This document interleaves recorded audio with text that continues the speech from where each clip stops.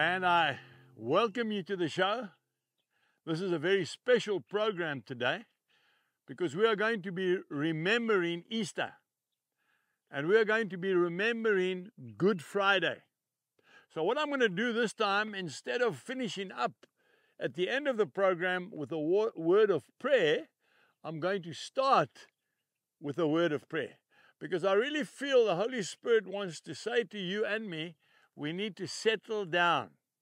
We really need to quiet our spirit so that we can hear the voice of God. We are so used to running everywhere, everywhere, back and forwards. Get a cup of tea and get your tea and your coffee first. Sit down and listen to the word of God. So I'm going to pray for us right at the outset. Heavenly Father, we are today remembering probably the greatest sacrifice that you made in the history of the earth. Now, I pray, Lord, that you'd give us a spirit of peace so that we can really hear what the Spirit of God is trying to tell us. And then, not only that, Lord, but to act upon it. In Jesus' name, amen. Even as I'm praying, there's a little bird up in the tree here. You might not be able to hear it, but it is singing so beautifully. So I want to speak to you about afflictions.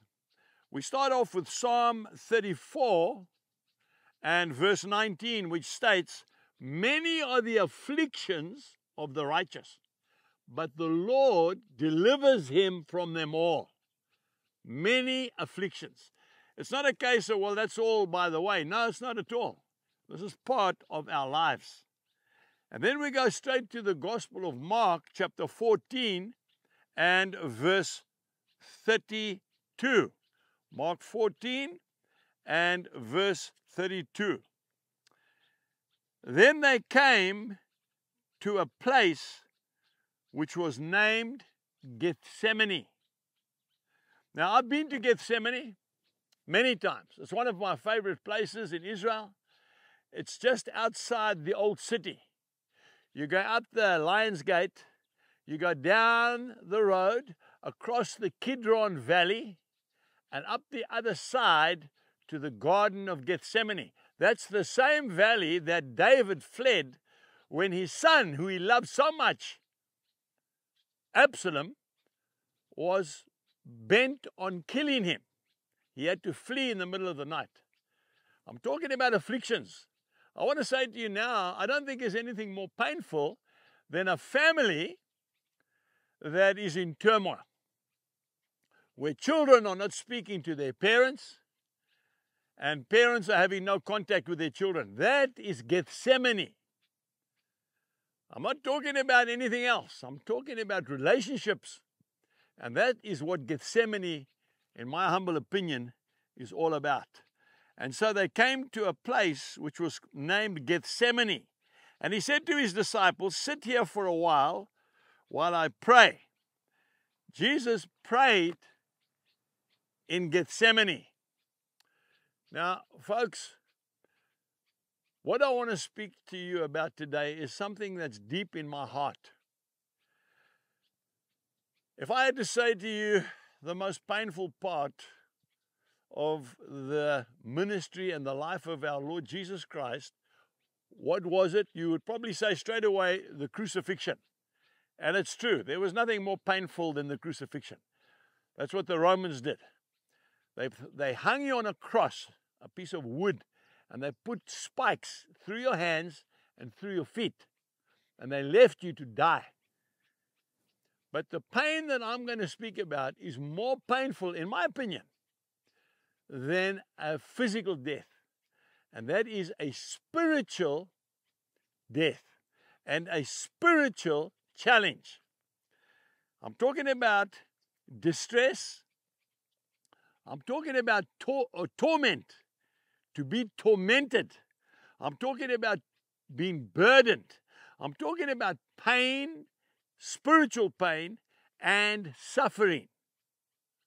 Now, Gethsemane was known as the olive press. That's what Gethsemane means in Hebrew. It's where the olives were crushed so that the olive oil, that beautiful golden olive oil, could be extracted. Now, that garden is still there today. Those olive trees are 2,000 years old. I want to say to you today, my dear friend, that an olive tree never dies, you see. What it does, it keeps retuning, it keeps growing. So the original trees are there. There's about 14, I think, I'm not 100% sure. But when you go into that place, it's like you're going back 2,000 years ago. Those trees are so old. And often I would just sit in a little bench and look at those trees and try and picture that night when the Savior of the world took all of our sin upon him. Now, we know that uh, he is sovereign. We know that. We know that Jesus Christ is God made flesh. But the Bible tells us that he became as a man. In other words, he suffered every single pain and disappointment and heartbreak that you and I suffer. And that is why I love him so much. And that is why ultimately he is the one that we go to when we have a need because he understands. The worst thing ever to say to someone who has just lost a, a child or someone who has just gone bankrupt or someone who has just been told by the specialist, you have got three months to live, go home, make yourself comfortably comfortable because you are going to die.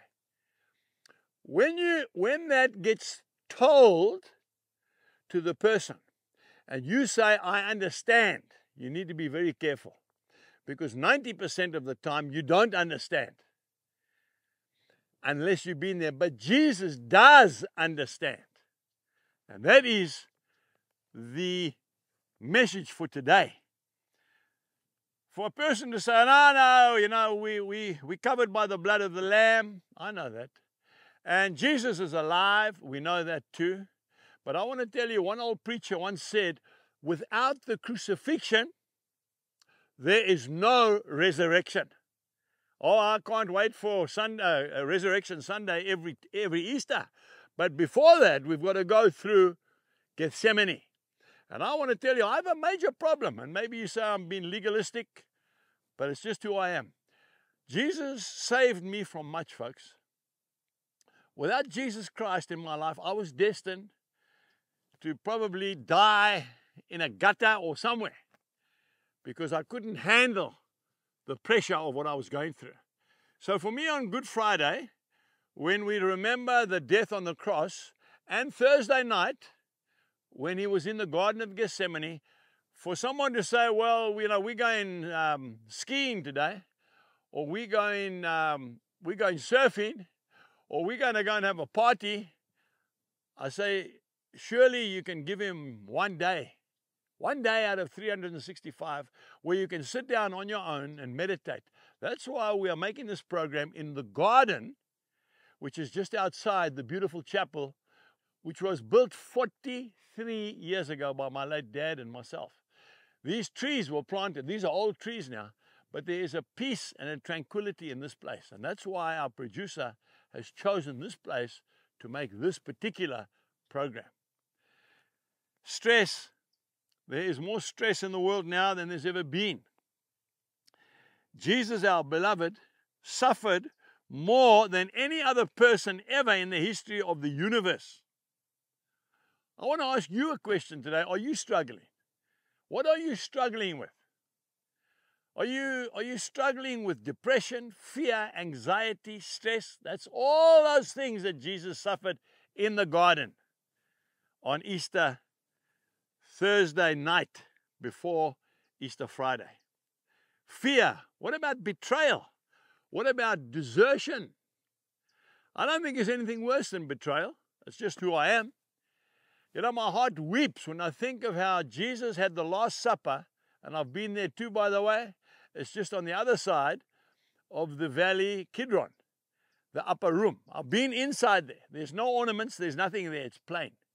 I can imagine Jesus sitting with his disciples on the floor as they did, as was their custom, maybe on some cushions, and having a meal. You need to have more meals together, folks. And then he not only fed his disciples, but he washed their dirty feet. And when he was finished with that, then he told the man that he loved, who walked with him for three years, saw Jesus walking on water, by the way, saw Jesus speaking with his father and Moses and Elijah on the Mount of Transfiguration. He said to him, Go and do what you have to do. And Judas Iscariot got up and he went out and he betrayed the darling of the world. Makes me want to cry. Betrayal is a terrible thing. When someone you love dearly betrays you, whether it's uh, having an affair and uh, ending up in the divorce courts, it breaks people, folks. And that's what Jesus came to, to deal with.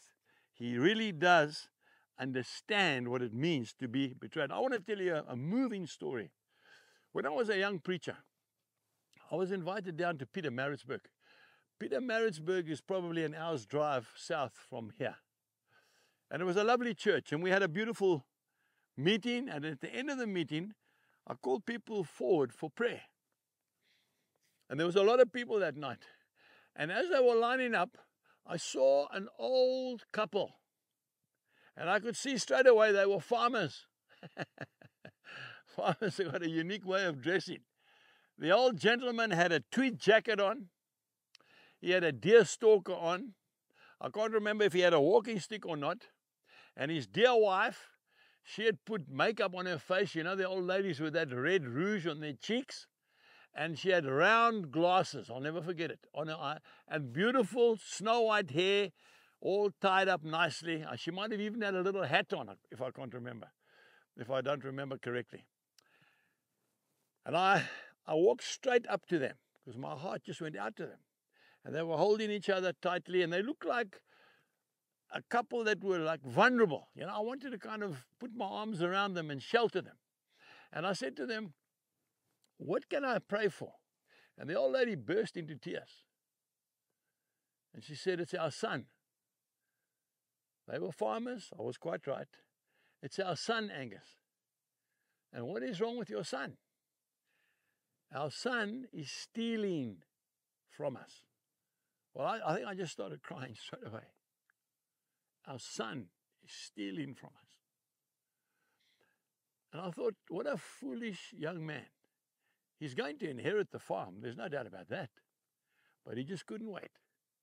Now, that to me is the ultimate of betrayal. When somebody that you trust and they just walk away from you or they drop you. Folks, to me, for Jesus, that is more painful than going to the cross. You see, in the garden was the time of decision. In the garden, the Lord, if he, he said to the Lord, Lord, take this cup from me. Oh, yes, that's what he said. And then, hopefully and gladly for you and me, he said, But not my will, thy will be done. If he hadn't said that, his father would have taken him home and there'd be no more life. But he came to die for you and me. Yet not my will, but thy will be done. I want to say to you today that uh, person that is, has betrayed you, forgive them. You have to forgive them because in forgiving them, there's going to be healing in your life. I want to say to you today that you have to forgive because Jesus said so, and that's enough. And so the Lord sweated blood.